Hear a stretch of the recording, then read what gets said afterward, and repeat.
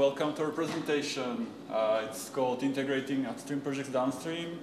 So I, I, wanted to like figure out some catchy name, but in the end it's just like yet another talk about the Packit project. And as you can see, we finally have a nice logo, and we have stickers over there. Uh, but don't, uh, the, I won't give you the stickers just like that. There are three ways you can earn it. So the first way, if you are already a Packit user and you can prove it, like you can have sticker.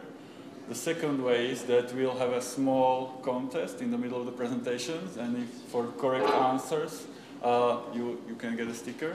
And the third way, uh, okay, what's the third way?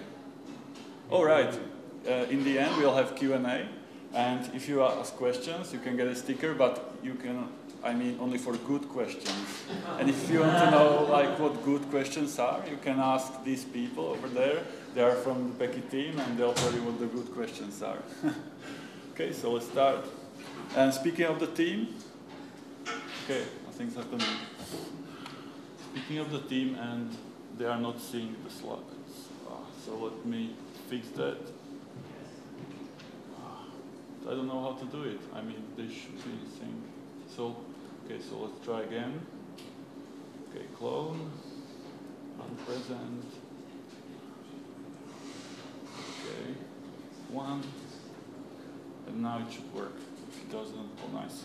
So speaking of the team, uh, this is the team uh, at the moment. Uh, there are some changes, like from the last year, if you remember this picture. I shuffled it a bit and uh, some people left and we have some new people. Uh, so if you ever get in touch with us, open a pull request or create an issue, like one of the faces will be replying, so please be nice to them and you can meet them over here. Uh, so that's the team. Uh, uh who am I? So I'm Tomáš. Uh, I work as an engineer for Red Hat for almost eight years. And so so my role is supposed to be like either technical lead or team lead. Like sometimes managers say one, sometimes they say other. So today I decided I'll be T lead. And in the past I was working on containers, right now it's automation, integration and all this kind of stuff, so let's go. Uh, this was the slide I was editing like five minutes before the talk started, because Dominika told me yesterday that I should have it as a slide like back then there was like a list of bullet points, but usually when I create talks, I try to do a small mind map of, of what I want to talk about. So this is what we what we do today, and probably you can't read it, like that's the point. But so I'll give you a small intro to the project. I mean, we've been talking about Packit for like a year, and I'm pretty sure that you already heard all the intro. Uh, intro talks, so let's don't do that. I'll do it very quickly, and then we'll talk about project, what's happening right now, what we achieved so far, uh, if there were some challenges, and then uh, we'll talk about the future, and then we can finish with Q&A. Okay, let's do this. So Packit, what's Packit? Uh, it's Packit, it's a GitHub app which helps you integrate your upstream project into Fedora operating system and CentOS stream. That's it, really easy, right? Uh, let's show some pictures. So this is how it looks in, in real. Uh, if you are GitHub user, which I'm pretty sure that most of you are GitHub users, you are very familiar with this interface. So what's happening here is that uh, Dominika opened a pull request and Franta gave review and said, yeah, it's fine, but just please rebase. Then she rebased and you can see the, oh, I can use the laser, that's nice. You can see the green tick, which means that the commit is good and like nothing breaks. And then when you click on it, you can see like all the checks. And one of the checks is actually Packit, uh, which means that uh, like the builds of RPMs of the project where the, this PR is coming to uh, passed, and even the tests like you like we use that RPM in testing, and even the tests passed. So yay, everything is good. We are also using Zuul like as another uh, testing layer. You can see it over here. And so we merged the commit, obviously, everything's good. Uh, so that's Packit pretty much. I mean, now we could finish if this was an intro talk, but let's do something more fun and talk about what, the, what we've achieved so far. Uh, so as you can see, you can enjoy a platform where you can integrate your upstream projects into Fedora OS.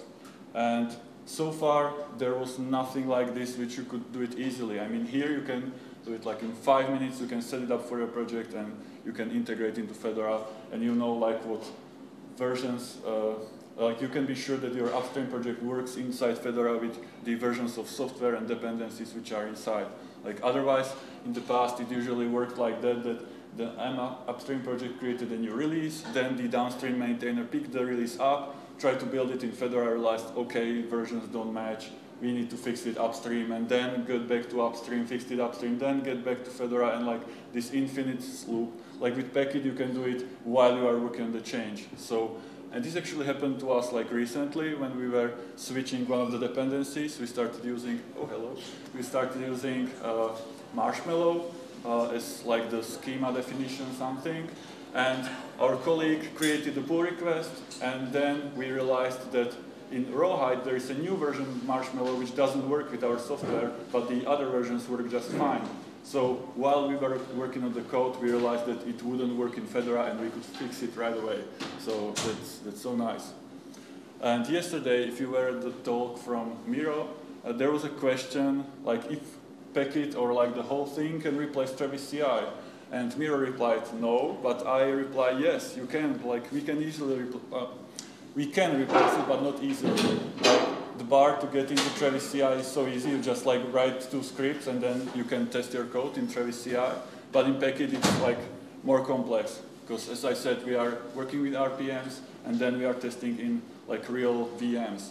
So, which means that like there is like a little bit high bar. You need to write the spec file or get the spec file, make sure it works, like get it either to upstream or download it during the build process. Like I, I mean, it's no problem, but like it's little high bar, but also higher value because you are working like with latest Fedora bits.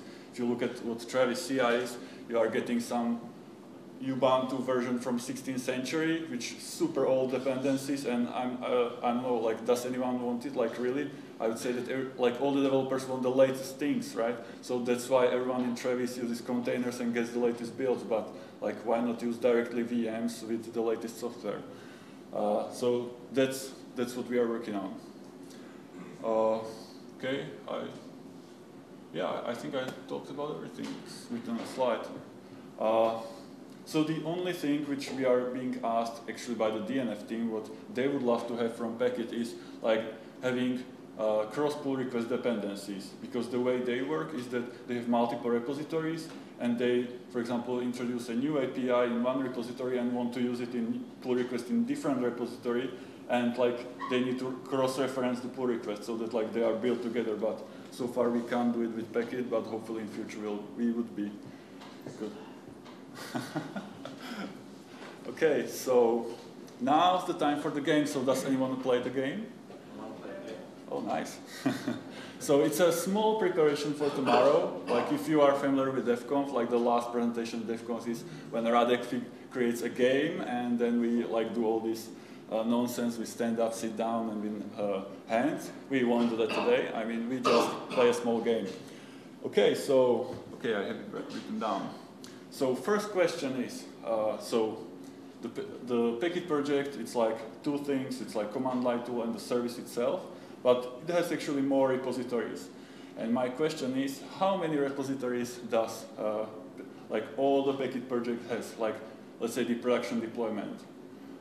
And I can make it easier for you. So do you think it's six or less? Who thinks it's six or less? Six. Okay, so I'm sorry you won't get a sticker, but the other ones can get it. It's actually eight repositories. Uh, it's actually the service code itself, the command line tool, then we have documentation, I mean it's also important, it's like part of the production deployment. Then we have deployment repository, then we have secrets repository, then we have sandboxing repository, Come on guys, help me. So, all right, then we have ogr, which is the library we are using to interact with Git for this. And number eight. Research. Sorry? Research. Oh yeah, okay, research. Oh, we have another repository when we are doing research on like various topics. Uh, yeah, eight. We have actually much more, but let's say the eight are really important. okay, another question. So, uh, since we are working for Red Hat and we are deploying Packit service into OpenShift. And if you are familiar with Kubernetes OpenShift, you are familiar with pods, right? Like, you know what pods are in? And if you don't, it's like containers, like the same thing. So how many uh, pods in OpenShift does the production Packit service deployment takes? And let's do it the other way around. So let's say, do you think it's uh, 10 or more? Yes. Oh, nice, you have high hopes. Thank you. But it's actually seven. but I'm pretty sure it will be 10 in like half a year because like the, the pods which take like most resources are workers, like which do all the like cloning and creating source RPMs and sending it to somewhere else. So right now we are like three workers, but I'm pretty sure that we'll be like upping it like every month by one worker. Uh, so do you want to know what the other are? Okay. There are more than seven if you count some castle. So it's variable. But, but that's tricky. I mean, so, okay, so we are using sandboxing like during the build process because if you think about Packit, it's like code execution as a service. I mean, you literally have spec files and shell scripts in your repository and we are executing everything in our infrastructure. So, I mean, no one tried to hack it so far, but I'm pretty sure that sooner or later someone will try. So we are executing all the commands in a sandbox. So that's why like we were having this small discussion like whether the sandbox pods also are being, I didn't count them because they are like a little different. But the other one is like database, HTTP server, another database, and uh, three, uh, the three workers, and then we have the import image thing, right? Okay, that's it. So, okay, any other questions? Oh, I actually did this one yesterday because, so, since we are deploying into OpenShift and we are using Ansible to deploy everything, so all is YAML, and I was counting every YAML line in like in our service repository and deployment repository. So how many lines of YAML code we have into two of them?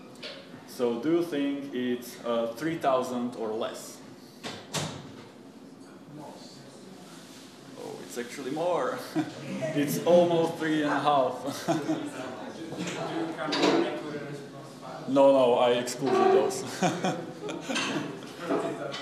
yeah, that, that would be insane. And I actually realized that in one repository we have all the YAML suffixed with YAML, and the other one is YML. I mean, what the hell? Like, we should fix that. That's irritating as hell. Okay, two more questions, I think. No, three actually. Uh, okay, this one is super easy, and you need to like you you need to make it right. So, how many team members does per, uh, Packit project have? I mean, you saw the picture. Go on. Uh, you are close. Not ten, one less. It's nine. okay, two more questions. And this one's actually, Steph will like this question. So, how many projects uh, are using Packit? And do you think it's uh, 80 or more? Less. Oh, nice. You should get not just sticker, but also like everything else because it's 101. Really? Okay, the truth is we were cheating like this much, but it's 101. and we actually did it yesterday. Like yesterday was the time. So, so the deal was that if you got over 100 by DevConf, I had to dye my hair blonde. Oh, oh yeah. So Steph says that the deal was if we do 100 by DevConf, Steph will dye his hair to blonde. But the thing is, we did it at DevConf, so I think it's up to you. Yeah. But you dyed it already, so I think you're good. No, now it needs to happen. This is DevConf. Okay. And okay, last questions. And Do you have a, can you show, do you have them on a slide so you can show us? like the projects. 101 projects? Uh, I don't have it in slides, but we can do it in at the end. I can show it to you. Yeah, yeah, During the Q&A. Uh, oh, oh, okay, okay. So, and the last question is, uh, you saw the amount of builds and tests, uh, and on the picture there was like six of them. So, how many builds and tests we submitted so far? I don't have the precise number. I have like good estimation, but what do you think? How many builds and tests we already submitted during the last, I don't know, like, past six months? You think it's more than a thousand? Yeah. Oh, nice. Yeah, obviously it's more than a 1,000. It's, I would say that we are like around 10,000 because, I mean, the biggest users of Packit projects is the, like the Packit team itself, so we are building like mad, so. okay, so that, that was fun. Uh, let's do something less fun, which means me talking. Uh, so how's the project doing on the like other side? Is that we try to release often, like every two weeks, pretty much when our sprint ends, and we deploy uh, often. We even have CI/CD set up. Uh, like it's kind of fake CD, I would say, but I mean, it's in the end, it's still continuous deployment. We are actually like every week we build all the images and deploy them, and then on Monday we come to work and realize everything's broken and spend two days fixing it and deploying like five times a day. Uh, but it works. and we try to automate everything, so all those three and a half thousand files of YAML are automating almost everything so we can redeploy the production with one command, which is like awesome and we don't need to do anything. Uh, yeah, we also have outages and the biggest problem is that like if you think about it, the Packit service, it, uh, it talks to so many different services uh, and those services sometimes have outages, which means that we have outages and it's like it's complicated. Uh, like so far the worst offender past few weeks is Fedora messaging. Like sometimes we just stop consuming sent messages, which means that like we don't get information that the builds are done and it's like really bad. And Jirka is always mad because needs to fix it. So yeah, but uh, we already have like plans how to fix it. Like don't rely on those services. So like poll whether the build is done and just don't rely only on the messaging and like other things. So if you are already users and you are like upset with the outages, like we are sorry, but we are definitely working on it and in coming weeks it should be much better and much smooth. And obviously we are helping people to get on board of Packit. So if you want to try using it, like don't think that it's up to you to figure it all out. Like the whole team is the, at DevConf, we are here for you and we can set up a meeting and talk to and show, it, show you what it can do and how to set up. And today we have workshop. Uh, I have another slide about it, and we can do it on the workshop. So that's how the project is doing. Uh, so how do we develop Packit actually? So we develop it like mad. I mean, if I don't, if I don't watch for notifications for a day, there's like so many pull requests merged and new issues created. So yeah, it's it's really it's a live project. It's changing all the time, and it's it's really great. Uh, we are doing a lot of code reviews, obviously, so we only merge code which is being code reviewed, unless it's Jirka. Jirka likes to do self-merges and then realizes it's broken and then tries to fix it for an hour. but things happen, I mean, that's usually happen when all of us are out of work and no one can give him, give him a code review. We are actually heavy users of pre-commit hooks, which are really awesome which means that we develop code locally, then we run the pre-commit hook, which will change everything, will format our code, runs all the linters, and even tells us that we need to rebase, which is great and uh, awesome, and mm, we have nice linear history, so definitely use pre-commit hooks if you want to like save your sanity. As I said, we are doing Scrum or like sprints or something like that. We also have staging environment. We also have like continuous deployments set up for staging environment, which means that we deploy to staging like every hour uh, the master branch of Packit service. Uh, and that's that's very cool because whenever we merge something, like within hours, we know it, we, if it really works uh, everywhere. We also have like dedicated repository uh, with pull requests being opened to test various use cases and we use this to verify that it really works like in staging or production. So, uh, and also if you think about it, since we communicate with so many services and there's like so many moving pieces, like our testing process is like worth another presentation, so that's why I only made it on one line. So we have like so many different types of testing that it's like outrageous like unit testing, integration, functional, then this like different pull requests opened, and then we try to hit the service and figure out if it works. Uh, and and one thing we are using is uh, called requre. It's also oh that was the final Git repository. I forgot about it. Okay, so requre is a project we are using to actually record network uh, operations and then we replay them in the CI process. And if you know more how it works and how you can use it, so come tomorrow at 3 p.m. Honza and Franta will give a, give a talk about it. Okay, so do we have any challenges so far?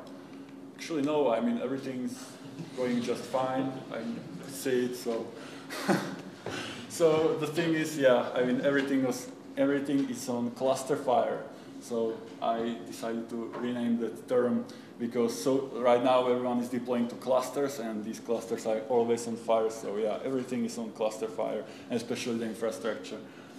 Uh, yeah, I don't want to talk about it. so, so the other challenge we have is that uh, since Packit has like so high goals, we are getting so many requests like, okay, we would love to use it, but we are using this kind of workflow, so you need to implement this and that in order for us to use it. And we have like 20 requests like this, then we have like 50 different requests to change user experience, and like we are just nine people, and we didn't even were nine people like two months ago. We had to like refill our racks to get new people, or, or like to refill the existing racks. And so we were like, our velocity, like working on code was pretty low, but it should get better right now since we are in full uh, within the team. So yeah, please uh, come with us with the requests and like we usually try to prioritize like uh, if it's something very important or something affects so many people, we prioritize it and work on it as soon as possible. But if it's something like which is only affects you and it's like small issue, it's very likely like we won't have time to fix it. So like either send us a pull request or please be patient and maybe someday we'll be able to work on it. Uh, okay, more challenges. Spec files. I mean, did you ever use RPM spec files? I mean, they are really hard. And what's even like more hard is to try to parse them. I mean, there were so many issues parsing spec files that it's like, actually the first time we were trying to onboard kernel, it just blow away, like parsing kernel spec files. So yeah, spec files are really hard. And another thing which is hard is running a service. I'm not sure what you guys are working on, but like running a service 24-7, that's really hard. And if you want the service to be like scalable, secure, and someone needs to operate it and like resolve incidents and verify it works. And yeah, it's, it's really hard. And like for us, for, for the team, I mean, it's challenging, but I would say we are doing good. We are good, getting better. And I'm pretty sure that in one year, we'll, I'll have completely different talk. And my favorite uh, running a production service is no route to host.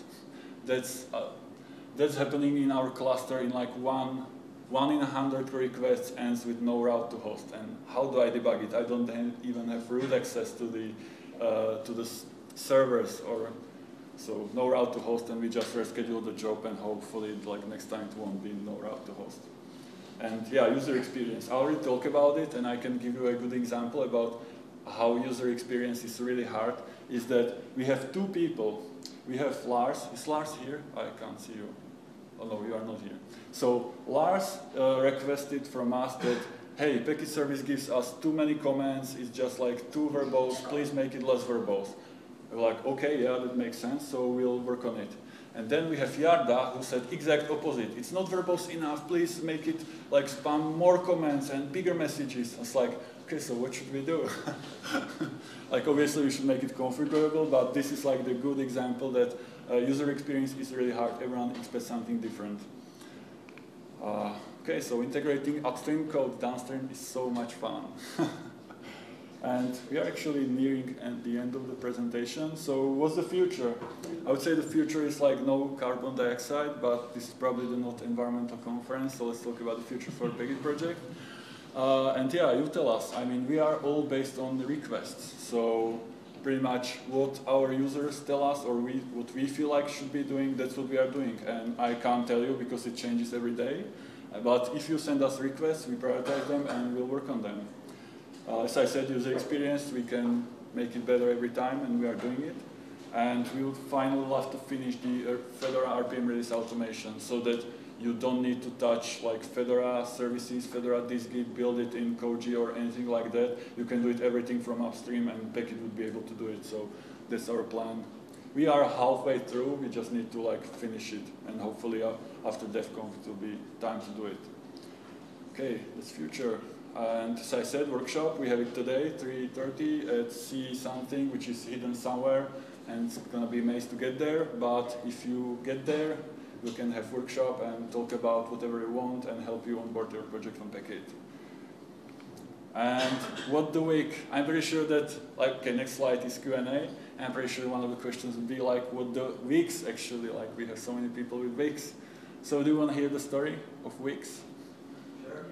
Okay, so our manager over here, Steph Walter, he likes to wear wigs. He likes to wear them like in the office, and it's so much fun.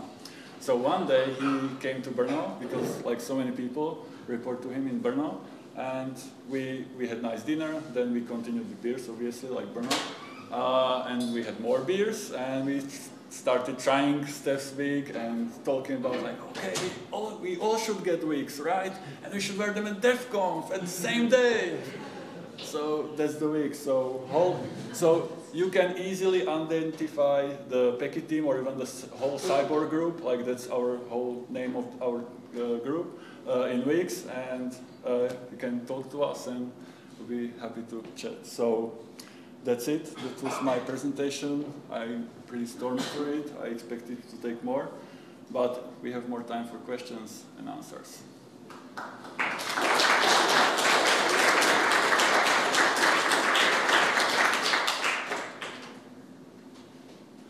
Yeah, Martin. Yeah, so in this talk you concentrated a lot on the use Packit for testing the project side. So let's say I got happy at automatically deploying my packages to Fedora with Packit, but I'm happy with the testing side. So do you think that's a good way to get into the training of Packit now? So you to not have auto deploy Fedora, but only use the testing? Okay, so you are asking whether you need to like build the RPMs or you just want to test it, like like test it from Git repository? That, that's your question? Oh yeah, you. Uh, yes, you can. Like you can only use use the CI part of Packit. Like just build RPMs of your projects and then test them in the VMs. I mean that's that's just fine. And we can help you set it up.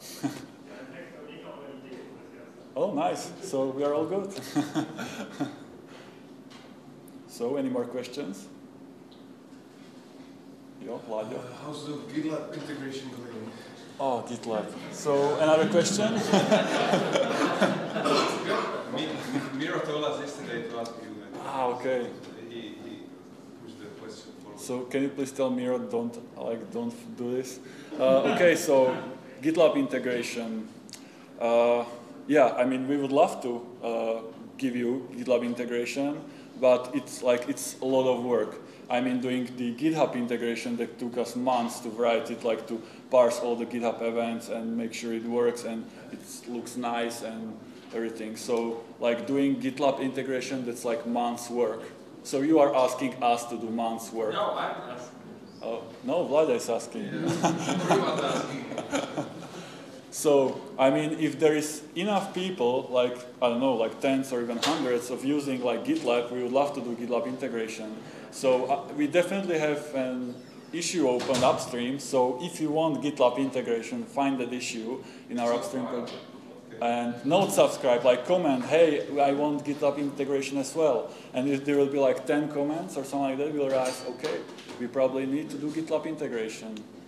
So, yeah, thanks. But um, on, I think on Monday, we're going to be talking about this stuff. Mm -hmm. uh, something that would see if we if GitLab integration Mm -hmm. So it's not like something in the far distant vague future. I mean, it could be that, oh wow, this is not the case, but it's kind of, things are coming together to push us in that direction. Mm -hmm. Actually, we have exactly this code for the manager for GitLab, uh, but it's going to internal infrastructure, uh, Red Hat, then it'll be far better to it yeah. outside. Okay, so that's actually two requests. You are asking us to do integration with gitlab.com and then with custom GitLab instances, right? Custom, yeah, we have oh. GitLab ah. Okay, so please write down the use case okay. and we'll talk about it since we sit on the same floor. okay, cool, thank you. From two perspectives, it's not the program, it's already Oh, all right. Yeah, Franta gave a good comment that if you are using the Packit tool, like you can already do it from GitLab, but I'm pretty sure that you want the CI part when like Packit interacts with your pull request, and that's the hard thing, like to get the webhook responses and respond back to GitLab and all these things. Uh, okay, so more questions. I think Kevin had a question. Yeah, so you said your priorities kind of change based on requests and so forth. Is there somewhere where we can see what that list is at any given time and like track it the best place? So, uh, so as I said, we are doing okay uh, for the recording. So the question is like about the priorities and where everyone can see them. Uh, so yeah, I said we are doing Scrum and sprints, and we are doing it in internal Jira instance. So yeah, it's not very transparent. Uh, but at the same time, we are using the upstream Git uh, GitHub trackers, and we sometimes have like milestones over there and uh, like labels with high priority and all these things. So uh, you can watch it over there, what we are working on. And I would say that like we could do some, maybe some mirroring from Jira to GitHub and maybe like set up some labels and describe it somewhere how, how it works. Like, for example, like set labels that active in Sprint that we are working on. We, yeah, yeah, we can definitely work on it. Thank you for a question. But the place where I found most interesting about your priorities was the, the status document for onboarding projects. Oh yeah. It seems like when a whole bunch of different projects need a certain feature, it goes higher the priorities. That's what I noticed from your things. Oh yeah, that, that's a good comment, Steph. So we have actually one document where we write down discussions with different projects and teams, like what they need, and it's like one document, and based on the document, we try to like prioritize dice for next sprints. So uh, yeah. That's in GitHub. Yeah, yeah, it's on GitHub and it's hidden, like nobody can find it, and we should probably change that. so more questions? Yes, uh, in back. Yeah, is it possible to do different ac actions based off a branch? Like, for example, on master, I want to build and test, but like on a, if I push a tag, I want to build and update Fedora or something. Uh, so the question is if uh, you can configure packets to do different actions based on uh, branches or uh, tags. Uh, like not right now, but the way you describe it, the way, it's the way it works. And okay, what, what I mean. So right now we can, or okay, you can't configure the branch thing. Like Packit would react to all the branches, like all the pull requests.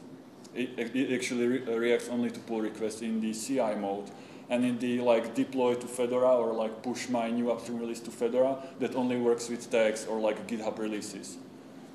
But it's not configurable at the moment. But if you have an idea like how it should work or how it should work for you, like we can talk to you or you can like create an issue and it. Yes, please. Just a comment on all those features. I think some of those could be implemented with Zuul. We have uh, like POC with the Zuul scale in Fedora. And I will speak to you later how this could be. So GitLab, for example, isn't right with that. It's, uh, could reuse this code. Mm -hmm. It's also reacting on the pull requests and can have filters on the branch. Okay. Let's, let's go. So was that a question? That was a comment. Ah, okay. So, so the comment was that there is a POC set up in Fedora with Zuul and whether we could work together, right? Uh, so yeah, please come to the workshop and we can talk about this. Like, uh, I, I, think like you, if Packit was able to like push jobs to Zuul, that would be super cool. Or like some way to interact together, that, like that would be great. Okay, more questions?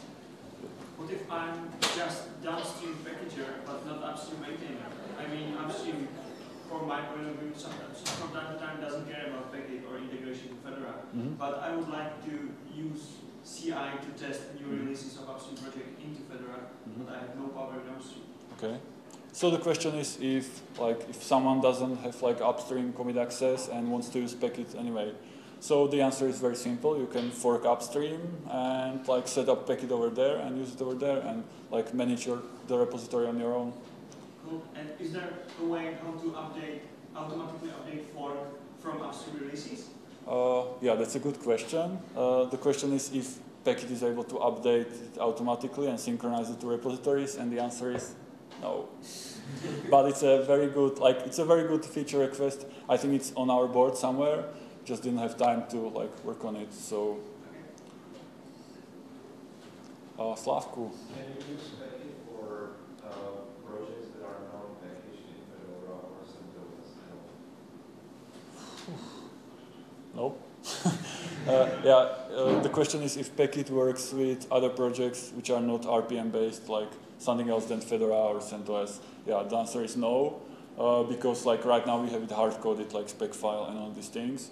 No, I, the, the, the, the question is like, uh, it would be a project that, that would, uh, like testing how it builds, uh, and runs on an RPM based distro as an RPM, but it's not packaged at this moment in Fedora, meaning that it didn't go through a review in Fedora. So sort of more like the legal perspective of, of doing that. Like it's a project that's never been reviewed for Fedora or CentOS, but would like to use package to try how it builds as RPM and integrates with the system. Okay, so sorry I misunderstood your question. So the question is if you can use Packit on a project which is not in Fedora, and the answer is yes, obviously. I mean, that's what I did yesterday. That's what I thought was the 100 project, because I want to add uh, Nyanket package into Fedora. So the first I set it up uh, with Packit, make sure that it builds, and today hopefully I'll create a review request on Fedora. So yeah, you can set it up easily. I mean, being in Fedora is not the requirement. But on the other hand, since we are like building in Fedora infrastructure, uh, we yeah. uh, uh, okay, since we are building in Fedora infrastructure in Copr, and Copr has requirements on the software which you can build. So if the software is like licensed or like not even proprietary or something like that, uh, like you can't build it. So we only build like op true open source software, which is which could be integrated in Fedora. So, so, so if I want to enable package on such a project, like, so, so you have to go and inspect the project to make sure that it's okay to be built in package?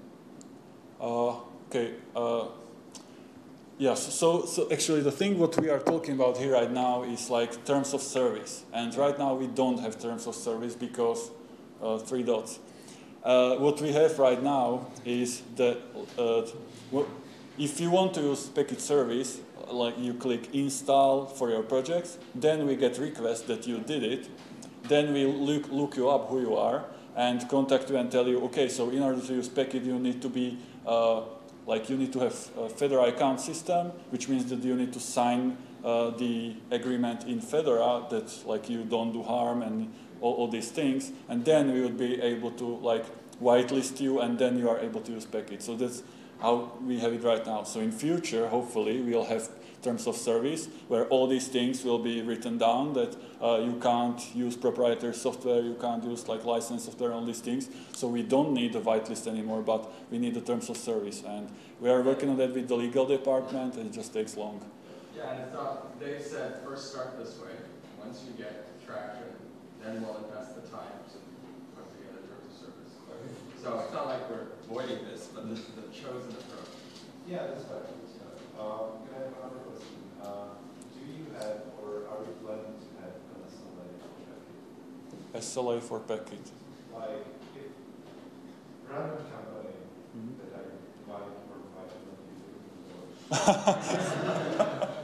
could have certain people persuaded to use package, would you provide an SLA for that? Like, let's say, I'm ninety something percent of time, guaranteeing that it would actually not harm, uh, the process that you need to. So that, to, to go there, we would need, to- as you saw in the keynote, Red Hat now has SRE. And uh, there's a long list of projects that are onboarding into that. Um, we haven't yet taken the step to get on that list because we want to actually take the first hundred projects, get onboarded first. But that would be the approach to take. So we have within Red Hat the ability to do that. Um, I guess talk, let's talk together about the use case. We want to see, okay, well, who's the requirements, just like any other feature request. What's the requirement for SLA, and how would we pull it off so that, you know, Dominica, Tomáš, and actually Yurka don't have to carry the pager for that. Okay, yeah, let's, let- let's move it on, onto the presentation. So for the recording, Slavek wants to have S, like SLA, and we'll talk about it after the presentation. More questions? We still have some time. Yeah? This, uh, is one of the requirements uh, to this Packit to have uh, RPM specified upstream? Oh, RPM spec files in upstream, is that a requirement? That's our most favorite questions. We're, we are getting it like so often. No. uh, you don't need to have the spec file upstream, but you need spec file in order to build your software. So in the like setup process, you can just download it from, I don't know, Fedora dist-git or from your favorite URL or somewhere else. So yeah, you don't need it upstream, but you need it. But you uh, using only the, the CI part, do you need? Yes, because we want to build the package first, then we install it in the VM, and then we run the tests. Actually, we were discussing this, whether uh, like if we want to enable people like to bypass that, don't have spec file and test directly, like the Travis CI or Cir Circus CI mode. But so far we didn't decide if we want to do it or not. So just collect the repository instead of building it. Mm -hmm. Yep. So far, very good questions. You will get stickers. yeah. So you said that parsing spec files is hard.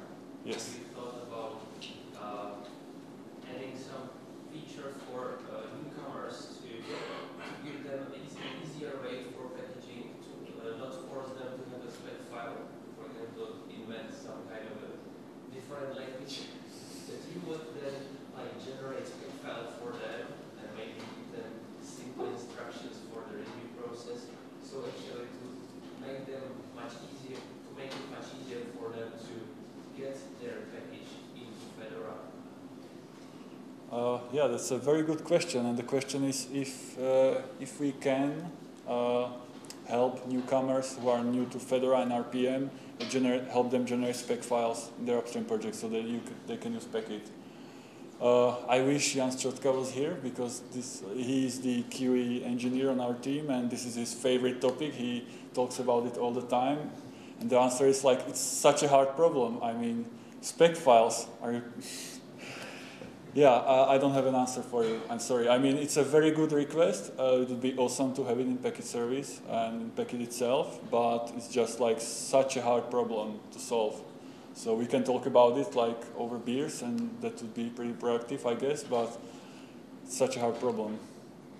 It will be also for a newcomer that want to be packager in Fedora, because uh, you can generate RPMs on this file for him at least some basic much easier for them to start uh, working. Oh, yeah, so, so, the comment is that we should nudge people so they work in Fedora and start maintaining or become packagers in Fedora. Yeah, that makes sense, but like general upstream developers don't care about like spec files and all these things. They want to develop their little baby and not care about distributions. So we should make it easier to work with spec files, to generate them, to update them, and there's some work happening. I mean, there are spec file generators, and we could try using them. Maybe that sounds like a good start. But so far, we had so many requests like make the service work actually, make it secure, make it scalable. And this was more important than like uh, polishing spec files thing. So maybe it could be our next target. So, more questions? Okay, no more. Oh. Um, Last one. Uh, you mentioned that things uh, blew up when you tried to onboard the kernel uh, because the spec file uh, was a problem with that. I'm curious, why do you even spec file? Can you, just feed it to whatever builds the RPM out the spec file? Uh, RPM build of Okay. Uh, the question is about if we actually need to parse spec files. Yeah, that's a very good question. It's, it was actually a technical decision to like the way we did it, like parse spec files and work with them. I mean, yes, we could do like sed or grep or do regular expressions, but like the thing that Packit does with spec files is that it changes version. Uh, like by default, it uses git describe to get like the unique version, so that when you build it, you can actually address like the commit the build was uh, did from. So that's one thing we are doing, changing version. Then we are changing source line so that uh, the so that it points to the correct tarball. Then we edit the uh, the setup line in prep section. So again, so that all of this madness works together, and then we create new changelog entry. So we do four things to the spec file. And yeah, we decided to like parse them. We are actually using Rebase helper for that if you were at the presentation yesterday, and it does all the parsing and all the magic. So, and yeah, that's the thing. Like that is a technical decision. Maybe maybe at some point we realize that like there's so many spec files we can't parse, and we need to figure out some new mechanism to work with them, or or fix the parser, or I don't know. But so far it's like kind of working. Ah, more questions? I had a question about what about patches? What happens to patches that are on top of the the, patch phase of billion RPM? Um, so, like sometimes there's bug fixes on top of a version, or there's downstream patches. Mhm. So how do you manage that? Uh, well, that, that's a very good question. Uh, patches in spec file. So in ideal world, the like if you have the spec file upstream, there are no patches because I mean you are in upstream. You don't need to like have dedicated patches in upstream, but that usually happens in downstream. Uh, so the way we solve this is that like Packit is able to operate on like two types of repositories. Like one type is like norm, normal upstream repository, and the other one uh, I already like the pitched it a little bit. It's the, it's the one when you fork upstream and then you add the spec files, add the, uh, I don't know, uh, Packit YAML and maybe additional commits. And in downstream, the additional commits means that they are patches, right? So Packit is to work with such repository and the additional commits it transfers them into patch files so that they are included in the spec file and in the, in the downstream so yeah, it works like this. We call it SourceGit. It's on our website. You can go packit.dev slash SourceGit, I think, and you'll be able to read about it. And it's all supported and it works. And the reason for that is that it's easier to take those patches and open those pull requests all the way back upstream. Even if they hate you, it's easier for them to hate you. Um, and actually bring it back to where it's supposed to be. That should be the easiest path. Is send stuff as far back upstream as it can. So by keeping it as long as possible in the form, this commits, and, and only converting the patches as the last step, that makes the job of that, that you were describing much easier to go between the two. And does it mean that I have to maintain the patches and the spec file on two places? No? I have Fedora's this JIT Yeah? spec file and patches. Yes? Then I have a fork of upstream Yeah. project with spec file and patches. Uh, Fedora, this gets taken care of for you. It transforms that stuff into patches for you. So, I mean, as much as you can go and look at it, you don't have to you feel like you have to do any work. yes, so ideally you work in the upstream repository and Packit will take care of dist-git for you so don't, you don't need to touch it. Like that, that, that's the idea. More questions? Okay, thank you very much for coming and see you at the workshop.